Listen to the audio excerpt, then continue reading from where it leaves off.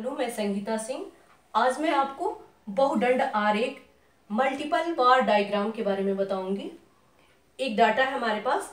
Production of urea DAP and complex in lakh metric tonne ये year है। 2010 से 11 2011 से 12 2012 से 13 यूरिया कॉम्प्लेक्स और डीएपी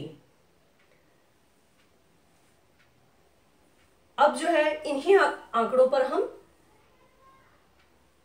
ये बार डायग्राम बनाते हैं। तो जब दो या दो से अधिक वस्तुओं के उपलब्ध आंकड़ों का समय या स्थान के अनुसार तुलनात्मक प्रदर्शन करना हो तो हम बहुदंड आरेख का प्रयोग करते हैं, जिसमें विभिन्न वस्तुओं के दंडों को एक दूसरे से सटा करके बनाया जाता है तो जो है, हम अपने आंकड़ों के अनुसार यहाँ पर बराबर भागों में इसको हम बांट लेते हैं।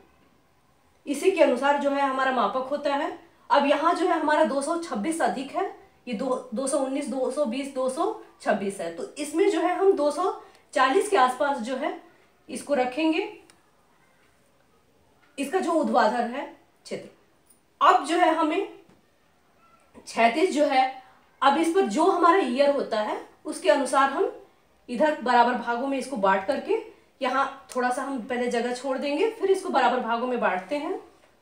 जो भी हमारा तीन, चार से अधिक, दो से अधिक जो भी हमारा आंकड़ा होता है, उसके अनुसार हम यहाँ पर क्षेत्र को रखते हैं। अब जो है हमारा ये है यूरिया। तो हम यहाँ पर यूरिया 219 यहाँ पर हमने यहाँ पर दर्शाया। फिर जो है अब ये कॉम्प्लेक्स जो है, सत्तासी तो ये जो है हमने यहाँ सत्तासी इसको दर्शाया।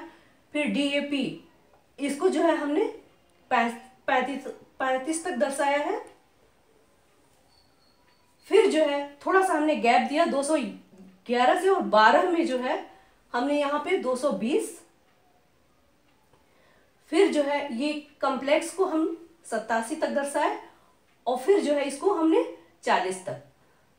फिर गैप देंगे। 2012 से 13 में जो है, इन आंकड़ों को हम यहाँ दर्शाएँगे। 226 फिर बासठ और यहाँ 36 और फिर हम संकेतों के द्वारा, एक तरफ़ हमने यहाँ पर ईयर दिखाया सॉरी और एक तरफ़ जो है, लाख मीट्रिक टन इधर हम दर्शाते हैं और फिर संकेत हम बनाते हैं। जितने भी हमारे जो है, यहाँ पर बार होते हैं, उसके अनुसार हम यहाँ पर संकेत बनाएँगे।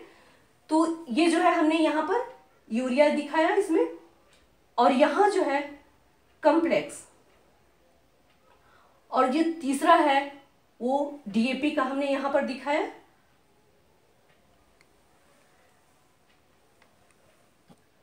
आप मेरे YouTube channel it is easy and simple को सब्सक्राइब करें और वीडियो को लाइक, शेयर तथा कमेंट करें। धन्यवाद।